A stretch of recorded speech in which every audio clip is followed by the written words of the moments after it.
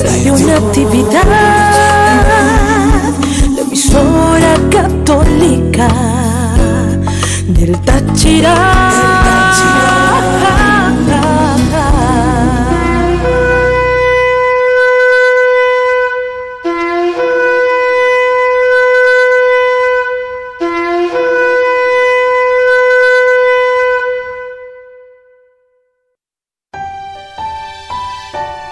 La Eucaristía es la fuente y culmen de toda vida cristiana. Es signo de unidad, vínculo de caridad y banquete pascual en el que se recibe a Cristo. El alma se llena de gracia y se nos da la prenda de la vida eterna. A partir de este momento, escucharás la celebración de la Santa Eucaristía desde la Casa de Oración Virgen María de Jerusalén.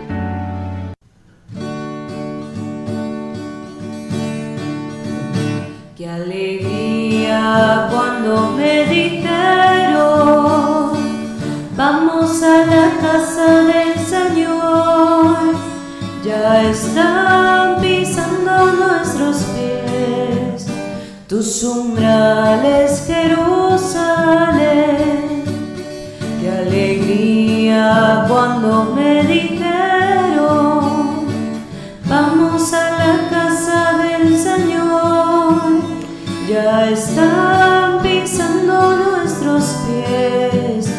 Jerusalén.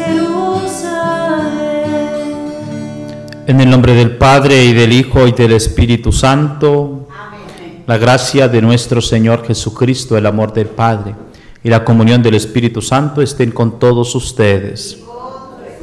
Sean todos bienvenidos, queridos hermanos, a esta Eucaristía, en la cual nos encomendamos a nuestra Madre Celestial, a Nuestra Señora de la Consolación por cada uno de nosotros.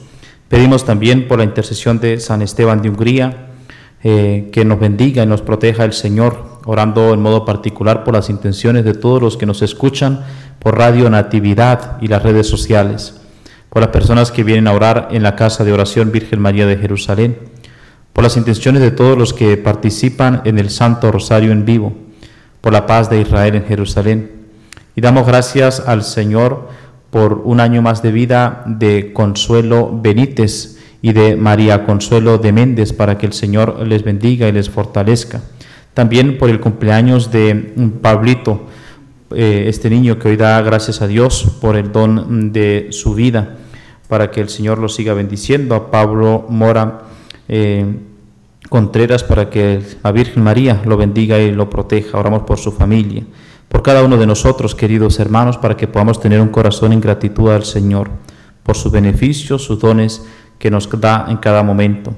Oramos al Señor también por la salud de todos los enfermos, por aquellos que se encomiendan en nuestra oración, por la salud de Bebe Dylan mm, Merola Vega, Bebe Gabriel Orlando Hernández y Pedro Pablo Infante, y por el eterno descanso de todos los fieles difuntos, en modo particular por Monseñor Roberto Arellano, el Padre Stephen Harney, Monseñor Raúl Méndez Moncada, hermano Carmelita Fray Néstor Rivera, Luciano Higinio Guerrero Aldana, Neira Rangel, Luis Horacio Caicedo, Pedro Arellano y María Zambrano.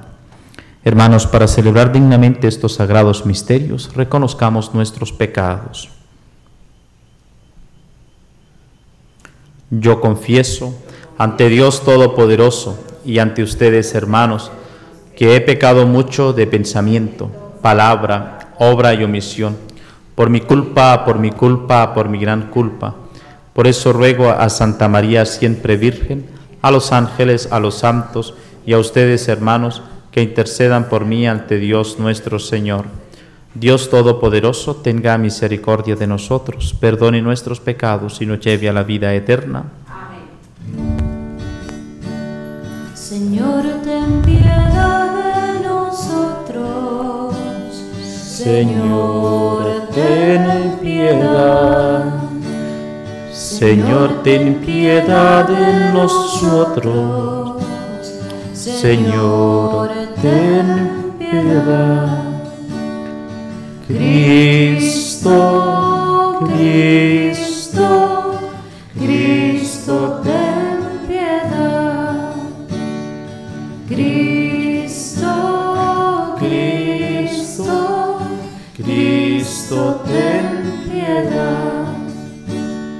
Señor, ten piedad de nosotros. Señor, ten piedad. Señor, ten piedad de nosotros. Señor, ten piedad. Oremos. Por intercesión de San Esteban de Hungría, concédenos, Señor, ser fieles a la fe y a la Iglesia, que Él se preocupó por consolidar y extender en todo su reino, por nuestro Señor Jesucristo, tu Hijo, que vive y reina contigo en la unidad del Espíritu Santo y es Dios por los siglos de los siglos. Amén.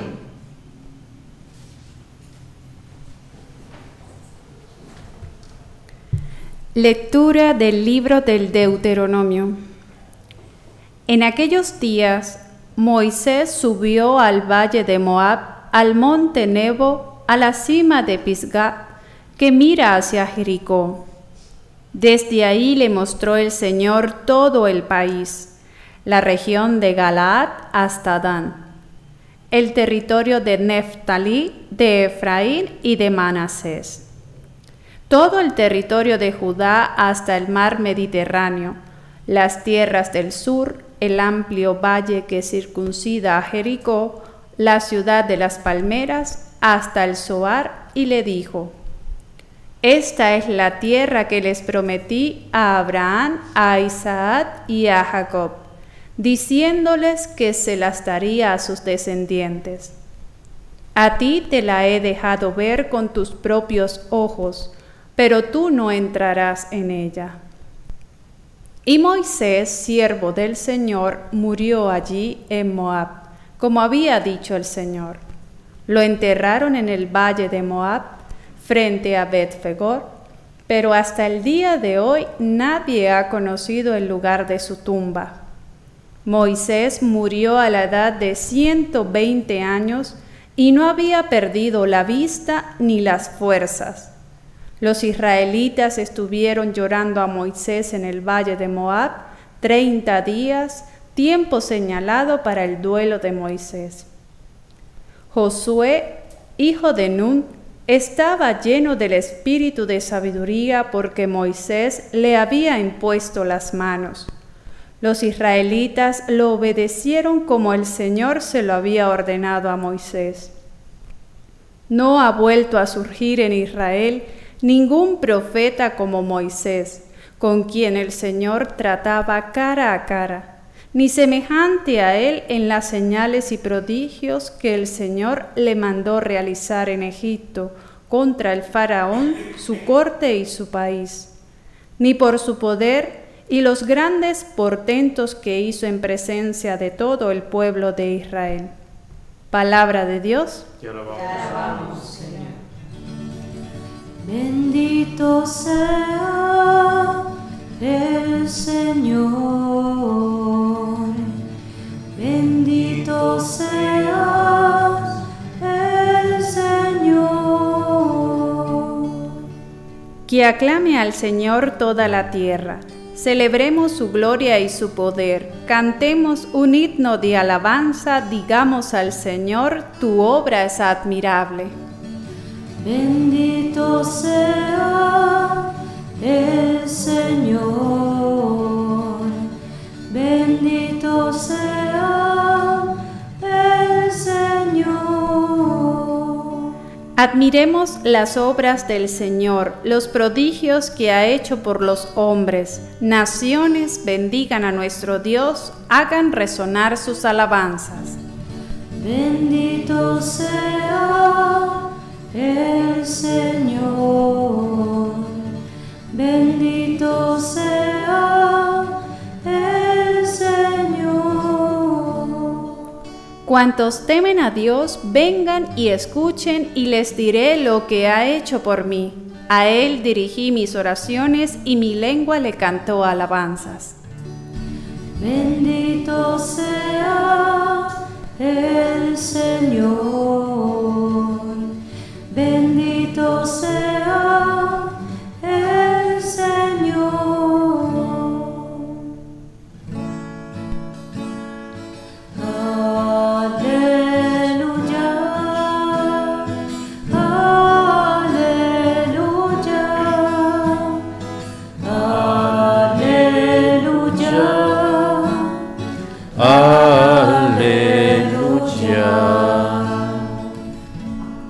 El Señor esté con ustedes. Lectura del Santo Evangelio según San Mateo. En aquel tiempo dijo Jesús a sus discípulos, si tu hermano comete un pecado, ve y amonéstalo a solas. Si te escucha, habrá salvado a tu hermano. Si no te hace caso, hazte acompañar de una o dos personas para que todo lo que se diga conste por boca de dos o tres testigos. Pero si ni así te hace caso, díselo a la comunidad, y si ni la comunidad le hace caso, apártate de él como de un pagano o de un publicano. Yo les aseguro que todo lo que aten en la tierra quedará atado en el cielo, y todo lo que desaten en la tierra quedará desatado en el cielo. Yo les aseguro también que si dos de ustedes se ponen de acuerdo para pedir algo, sea lo que fuere, mi Padre Celestial se lo concederá. Pues donde dos o tres se reúnen en mi nombre, ahí estoy yo en medio de ellos. Palabra del Señor.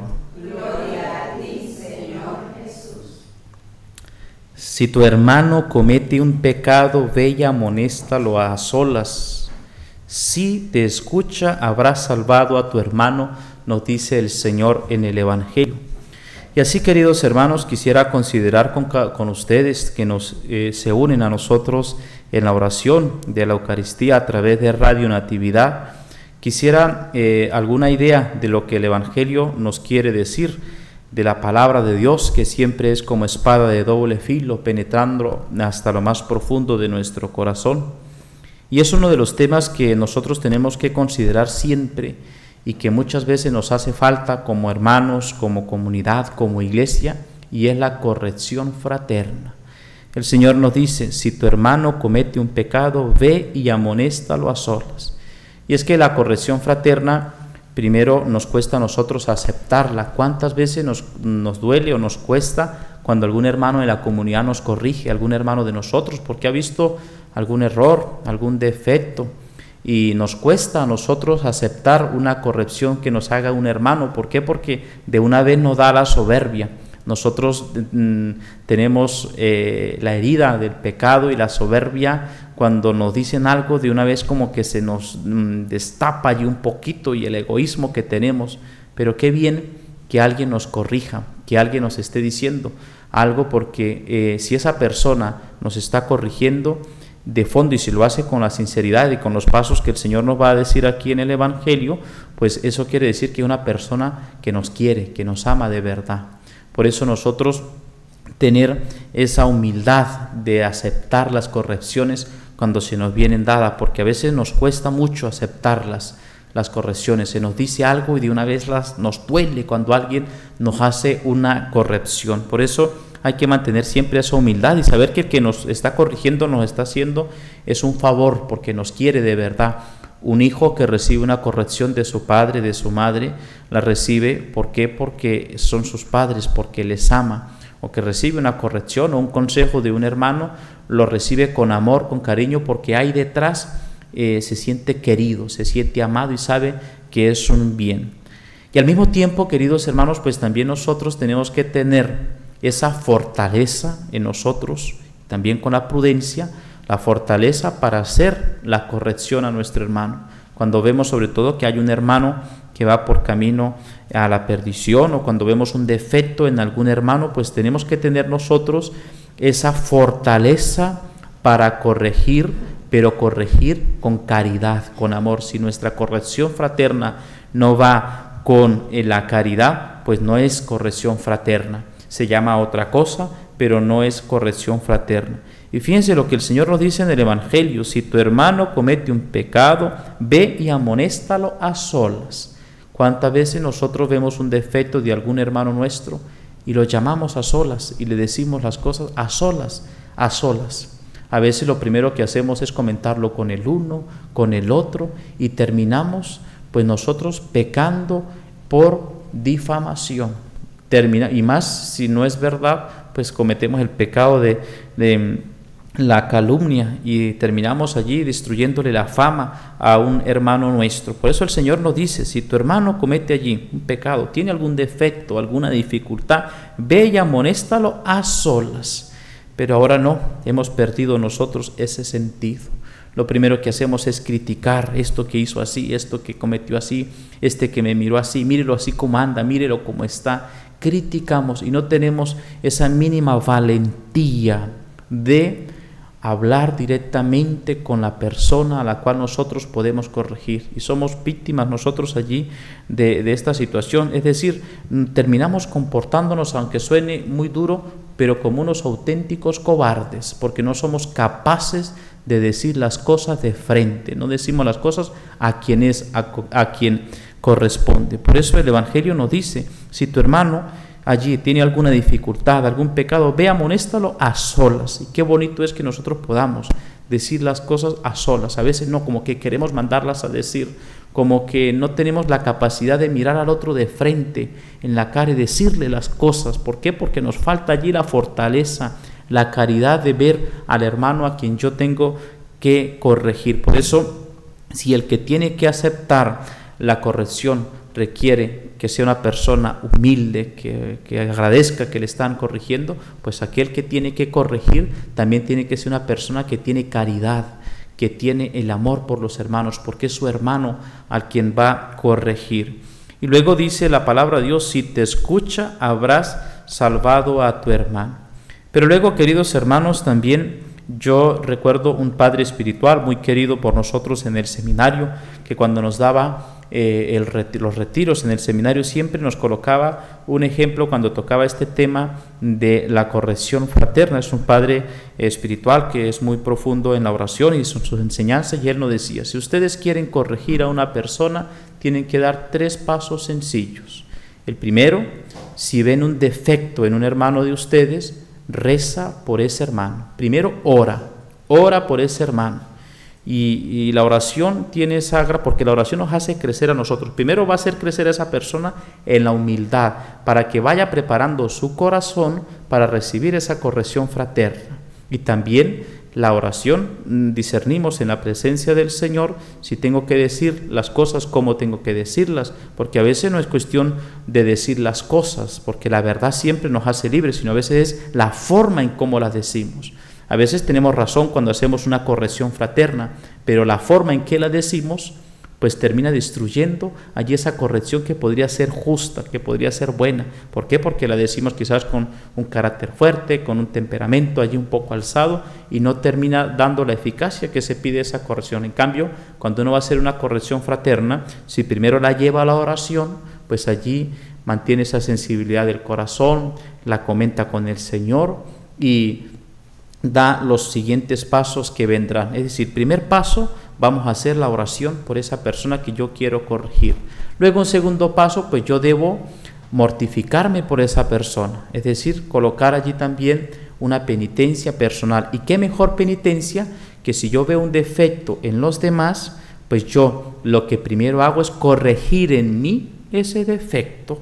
Ok, veo que esta persona tiene este defecto específico, pues bueno, yo que el Señor me dio esa gracia y esa fuerza para yo detectar ese defecto, ese pecado, esa debilidad en esa persona, pues voy a esforzarme a ver cómo está en mí ese defecto, para yo corregirlo, para yo perseverar y hacer una corrección en mí sobre ese defecto. Es decir, ya son dos cosas que yo voy a tener me estoy haciendo penitencia, mortificando a mí en, corregir mi conducta y eso está precedido por la oración, porque a lo mejor el Señor en un defecto de los demás, que me hace ver un defecto de los demás, pues me está haciendo ver a mí que quizás yo tengo que también corregir allí ese defecto. Por eso el Señor en otra parte del Evangelio nos dice eh, que estar muy atentos Atentos cuando veamos allí eh, la pelusa que hay en el ojo de tu hermano sin antes ver la viga que tiene en el tuyo. Por eso nosotros pues hay que estar muy atentos, corregir en nosotros ese defecto. Y luego pues ya el tercer paso, si nosotros hemos orado por un buen tiempo, hemos hecho em, la penitencia, es decir, la mortificación, hemos corregido en nosotros ese vicio, pues luego vamos a las palabras. Vamos y hablamos con esa persona a solas y le decimos, pues mire hermano, mire hermana querida, eh, yo he notado en esto, en usted, y tener esa valentía de decir las cosas concretas. Pero nosotros prácticamente hacemos las cosas al contrario. Primero queremos ir a hablar con las personas, pero ni antes haber rezado, ni antes haber evaluado cómo estoy yo en mi vida y en ese defecto que yo he podido observar en los demás. Por eso nosotros mantener esa valentía y ese cariño de seguir haciendo esas correcciones fraternas en la comunidad con estos tres pasos que eh, recuerdo de este padre espiritual que nos enseñaba en, el seminario, que, nos, que ha hecho bien también en mi vida y que nos puede ayudar para nosotros querernos como auténticos hermanos y así perseverar, dice la palabra de Dios, si te escucha, habrás salvado a tu hermano. Qué hermoso que nosotros podamos corregir a nuestros hermanos, pero con caridad, con amor con esa fraternidad que nos, nos hace de que somos todos hijos de nuestro Padre Celestial, de que somos hermanos y vamos en camino eh, de esa, por esa presencia del Señor. Por eso, queridos hermanos, a perseverar nosotros como miembros eh, de una sola familia, que somos la familia de Dios, la su iglesia, perseverando y luchar. ¿Cuántos de nosotros criticamos, luchamos? ¿Cuántos de nosotros eh, criticamos, por ejemplo, al Papa? A los obispos, a los sacerdotes, criticamos y muchas veces hemos dejado por ellos la oración y no oramos. O un hermano nuestro en la familia también nos puede pasar allí. Por eso nosotros tener esa fuerza y esa valentía de ser personas coherentes, de ser personas libres que amen a los hermanos, que buscan en ellos la salvación. Amén. Queridos hermanos, elevemos al Señor nuestras súplicas, orando por nosotros y por la Iglesia. Por la Iglesia, para que siga anunciando la palabra de Dios a todos los pueblos, roguemos al Señor. Por el Papa Francisco, por nuestros obispos Mario del Valle y Juan Alberto, por todos los sacerdotes, para que sean muy auténticos en la enseñanza del Evangelio vivan siempre con entrega y fidelidad el ministerio que han recibido, roguemos al Señor. Por las autoridades civiles, para que trabajen siempre por el bien común, para que puedan corregirse entre ellos de aquellos defectos que les impide gobernar en la libertad, gobernar en la prudencia, gobernar en los auténticos valores que reclama nuestra sociedad, roguemos al Señor. Oramos al Señor por todos los enfermos, por aquellos que se encuentran solos, los ancianos. Para que el Señor les dé el alivio y el consuelo, roguemos al Señor. Por el eterno descanso de todos los fieles difuntos, en modo particular familiares nuestros, amigos, benefactores. Para que el Señor les conceda gozarse de las bienaventuranzas celestiales, roguemos al Señor. Por aquellos que están en la cárcel, para que el Señor, les, el Señor de justicia los abrace, les dé el consuelo, para que no se sientan solos, para que sientan también que ellos están llamados a ese camino de la salvación. Oramos sobre todo por aquellos que están en la cárcel injustamente, quizás por falta de justicia, por falta de la verdad, de la objetividad de la verdad, y han sido eh, víctimas de la mentira y del engaño para que el Señor les auxilie, el que es el dueño eh, de la justicia, el que lee la justicia, el Rey de justicia, les bendiga y les fortalezca, roguemos al Señor. Escucha, Padre de bondad, estas súplicas que te presentamos por Jesucristo nuestro Señor. Amén.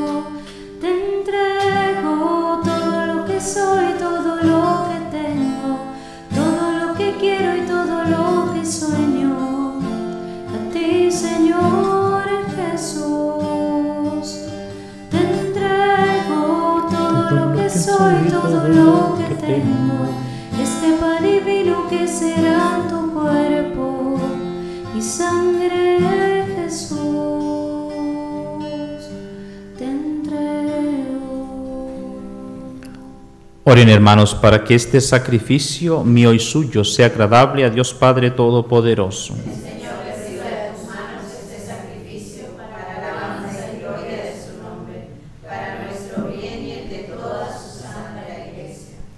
Acepta, Señor, los dones que te presentamos humildemente en honor de San Esteban, y haz que este sacrificio nos obtenga la salud del cuerpo y del espíritu.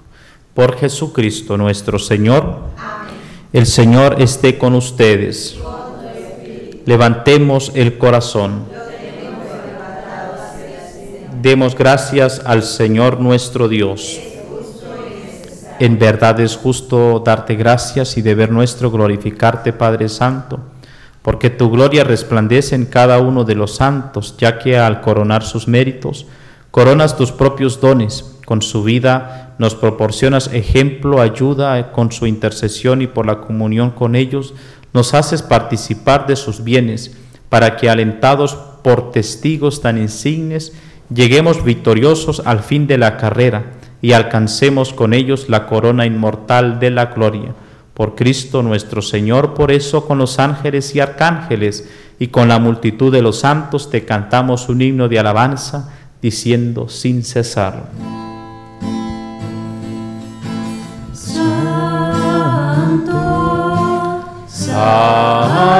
Santo, Santo, es el Señor, Dios del universo.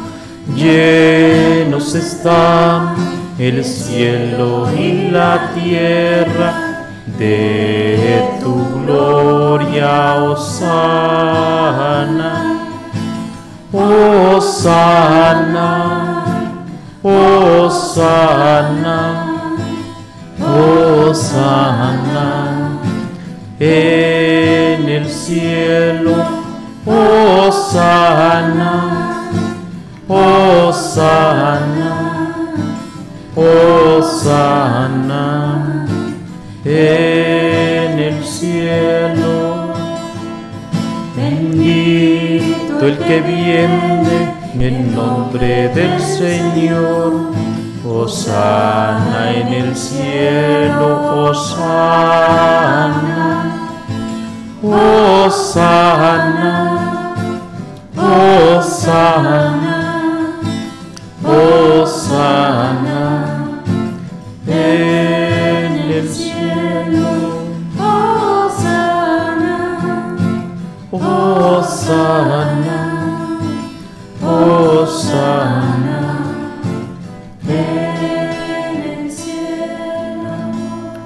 Santo eres en verdad, Señor, fuente de toda santidad. Por eso te pedimos que santifiques estos dones con la efusión de tu Espíritu, de manera que sean para nosotros cuerpo y sangre de Jesucristo nuestro Señor, el cual, cuando iba a ser entregado a su pasión, voluntariamente aceptada tomó pan, dándote gracias lo partió y lo dio a sus discípulos diciendo, tomen y coman todos de él, porque esto es mi cuerpo que será entregado por ustedes.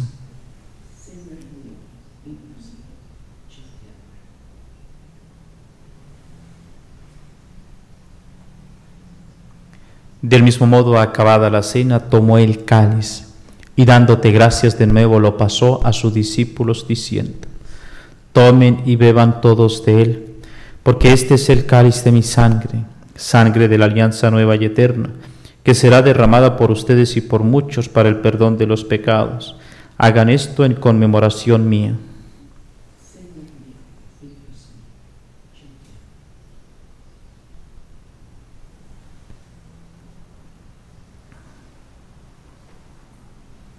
Este es el sacramento de nuestra fe.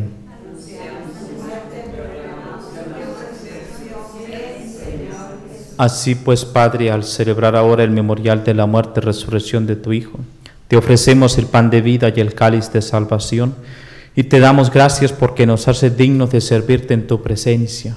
Te pedimos humildemente que el Espíritu Santo congregue en la unidad a cuantos participamos del cuerpo y la sangre de Cristo. Acuérdate, Señor, de tu iglesia extendida por toda la tierra y con el Papa Francisco, con nuestro obispo Mario del Valle, su auxiliar Juan Alberto y todos los pastores que cuidan de tu pueblo, llévala a su perfección por la caridad. Acuérdate también de nuestros hermanos que se durmieron en la esperanza de la resurrección, y de todos los que han muerto en tu misericordia, admítelos a contemplar la luz de tu rostro. Ten misericordia de todos nosotros, y así con María, la Virgen Madre de Dios, con su esposo San José, los apóstoles y cuantos vivieron en tu amistad a través de los tiempos, merezcamos por tu Hijo Jesucristo compartir la vida eterna y cantar tus alabanzas. Por Cristo, con Él y en Él, a ti Dios Padre Omnipotente, en la unidad del Espíritu Santo, todo honor y toda gloria por los siglos de los siglos. Fieles a la recomendación del Salvador y siguiendo su divina enseñanza nos atrevemos a decir, Padre nuestro, que estás en el cielo, santificado sea tu nombre, venga a nosotros tu reino, hágase tu voluntad en la tierra como en el cielo. Danos hoy nuestro pan de cada día. Perdona nuestras ofensas, como también nosotros perdonamos a los que nos ofenden. No nos dejes caer en la tentación y líbranos del mal. Líbranos de todos los males, Señor, y concédenos la paz en nuestros días, para que, ayudados por tu misericordia, vivamos siempre libres de pecado y protegidos de toda perturbación, mientras esperamos la gloriosa venida de nuestro Salvador Jesucristo. Tuyo es el reino, tuyo el poder y la gloria, por siempre, Señor. Señor Jesucristo, que dijiste a tus apóstoles, la paz os dejo, mi paz os doy. No tengas en cuenta nuestros pecados, sino la fe de tu iglesia. Y conforme a tu palabra, concédele la paz y la unidad. Tú que vives y reinas por los siglos de los siglos, la paz del Señor esté siempre con ustedes. Dense fraternalmente la paz.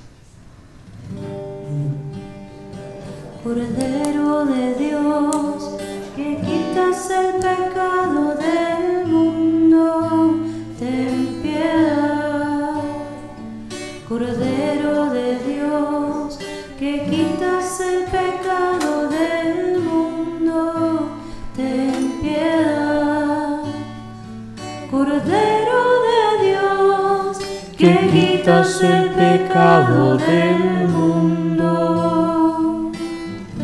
Danos la paz, danos la paz. Danos la paz. Este es el Cordero de Dios que quita el pecado del mundo. Dichosos los invitados a la cena del Señor. Señor, no soy digno de que entres en mi casa, pero una palabra tuya bastará para sanarme.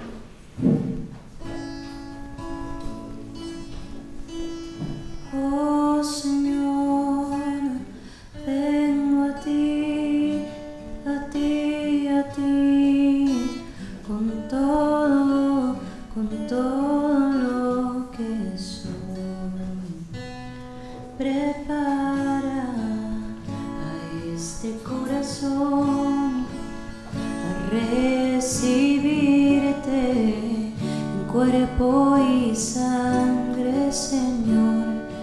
Derrama tu gracia sobre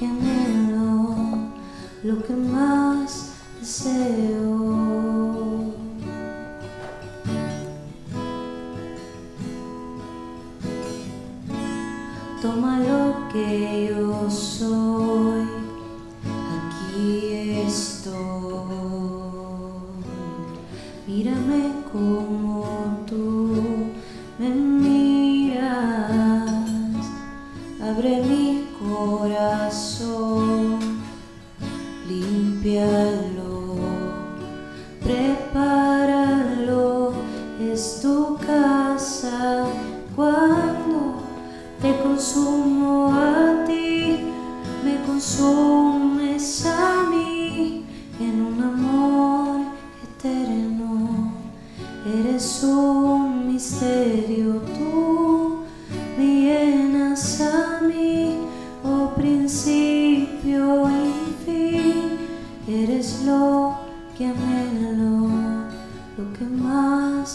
más